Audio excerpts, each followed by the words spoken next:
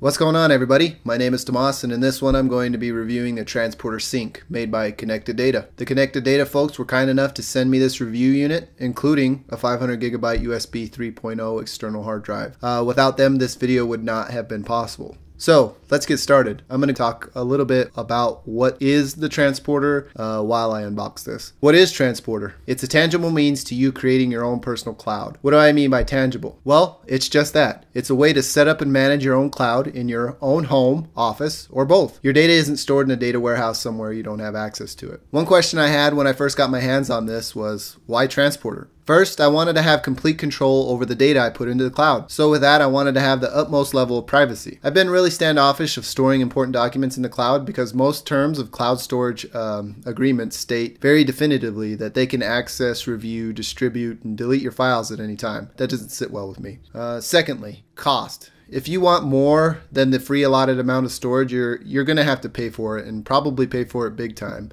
For example, one terabyte of Google Drive storage will run you $9.99 USD per month at the time of this video, that is.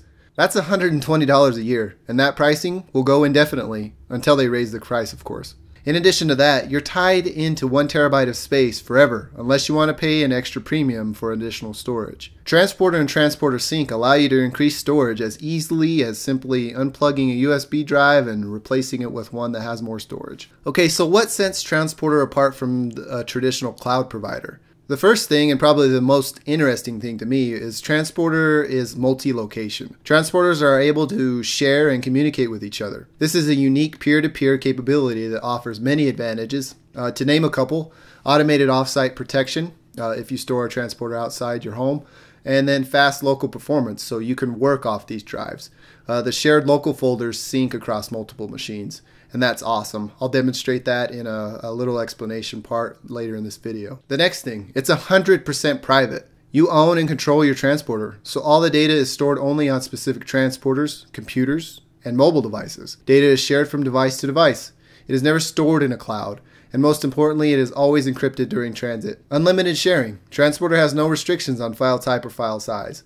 But with that, you want to keep in mind your bandwidth uh, limitations that your ISP or your internet service provider have on your uh, specific situation. Global access. All files stored on a transporter are available anywhere in the world from any Windows, Mac, iOS, Android, or Kindle Fire device with internet access, of course. And along those lines, your data is always protected. A full copy of shared files can be kept on multiple transporters, and changes to any file are automatically synced in real time. That's a big benefit. And finally, and most important, there are never any fees. Transporter is defined by Connected Data on their website as a buy and own experience. Subscriptions to cloud services can be exponential by comparison, are reoccurring, and are inevitably going to increase at some point. Transporter shows their true cost upfront. And that to me is a big benefit. All right, so in typical Tomas fashion, let's test this thing. I'm gonna first test the USB 3.0 drive. Um, I'm gonna go ahead and just go straight through USB 3.0 and see what kind of speeds we're getting with that. Looks like we're getting about 100 write and 100 read. One stipulation with this, you wanna make sure whatever hard drive you're plugging into the transporter or transporter sync is completely free of any data that you don't wanna lose because the transporter will format that drive. So all data on those drives that you plug in into these uh, devices will be erased and formatted. One thing, formatting can take up to an hour. My 500 gigabytes was completely clean when I plugged it in, so it took about 20 minutes. I don't know if it will take longer if there's data on the drive, but I, I do know that it only took me 20 minutes to format completely. And formatting is signified by the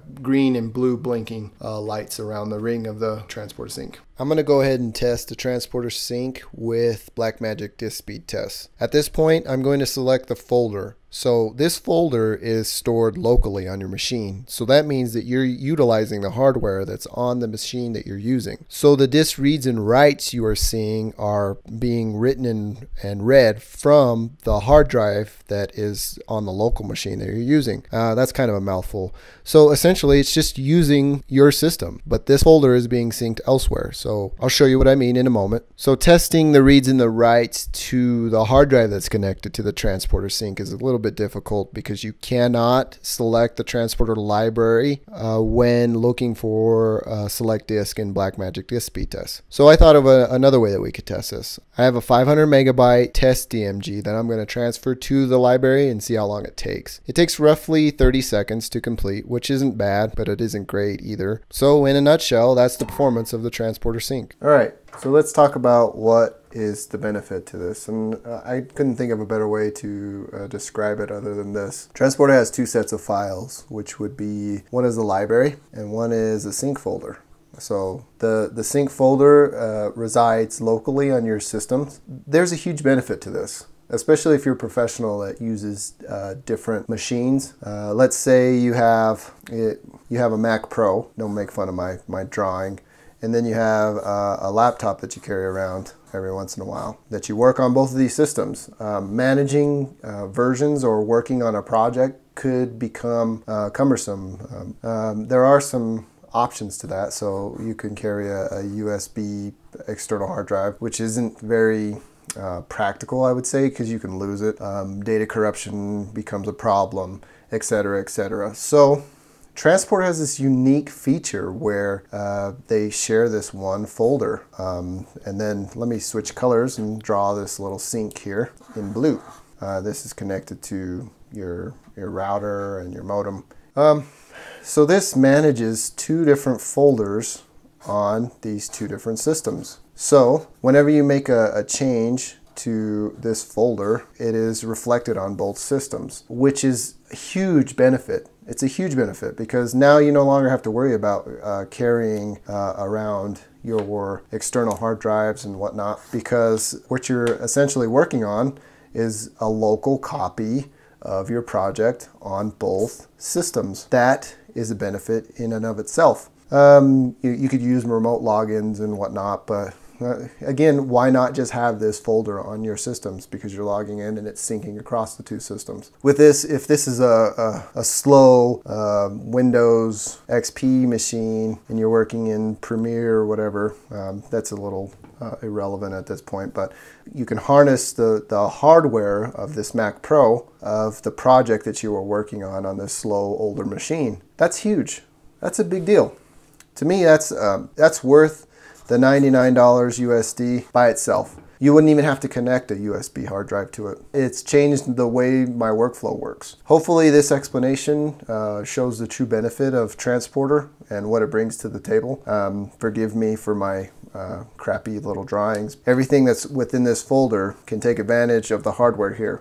So whatever you're reading and writing on this system will go to this folder. And then outside of that, you can do the same with this one. So if this wasn't a, an older machine and it was just as fast or whatnot. All right, so to close out this lengthy review, I know I didn't touch on everything. Like um, one major thing that I missed was um, the transporters talking to each other. And I skipped on that because I only have one transporter and I didn't have the, the opportunity to test how that works.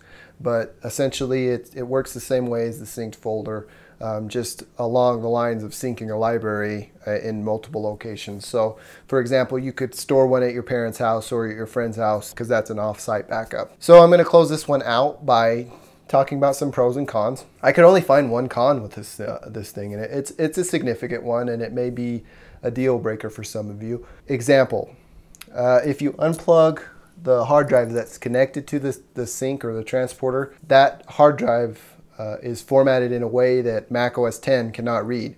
So essentially, you're you're you're not only buying into Transporter, you're you're buying into them securing your data. So if you have a transporter failure, you cannot recover that data without another transporter. There, it's similar to the Drobo thing. If you commit to Drobo, uh, you can't recover your data without another Drobo box. Moving on to the pros, they significantly outweigh the the cons because there's only one con that I could come up with. The the syncing of folders across multiple uh, workstations is huge. I think they really they are they're onto something here. And I understand there's remote logins and all that stuff because I, I currently do that with my work. But outside of that, having being able to harness the hardware on uh, multiple machines and work seamlessly without without skipping a beat, without using external hard drives, without remote logging in, etc., etc. The time savings that you may realize uh, with that is is uh, extraordinary, and the guys at Connected Data really uh, thought this through and, and definitely haven't really marketed this. I think they should switch gears a little bit uh, per se and maybe market this to professionals that work on you know they have a, a desktop system and then they have a laptop when they're mobile uh, in addition to that it, all the stuff is synced uh, seamlessly through android and ios which brings me to another point that I completely skipped over as review purposes. Um, I didn't want to make this a 30 minute review, but it could easily go that long. I'm going to go ahead and close this video for now. I'm going to leave pricing and availability down in the description of this video. Just click show more and you'll see I'll, I'll redirect you to an Amazon link and I'll also link you to their website. And before I get out of here though, I, I do want to say thank you to Jim and Joe. Uh, those guys, without them, uh, neither this or the Drobo video that I have, and I'll, I'll, link to that as well. These videos would not have been possible without these guys. Um, I sincerely thank them uh, for giving me the, a small time channel like myself the opportunity to review their great products. And for that, thank you. Um, I'm going to get out of here now. Thanks. That about does it for me in this one. If you liked this video, please leave a thumbs up. If you didn't, leave a thumbs down. I value your feedback, so feel free to comment and ask questions as well. After you're done liking, disliking, commenting, or sharing, go ahead and check out some of my other videos. In addition to that, check out my channel. If you like what you've seen here and what you've seen on my channel, you're more than welcome to subscribe. Thanks for taking the time to watch this video. Take care.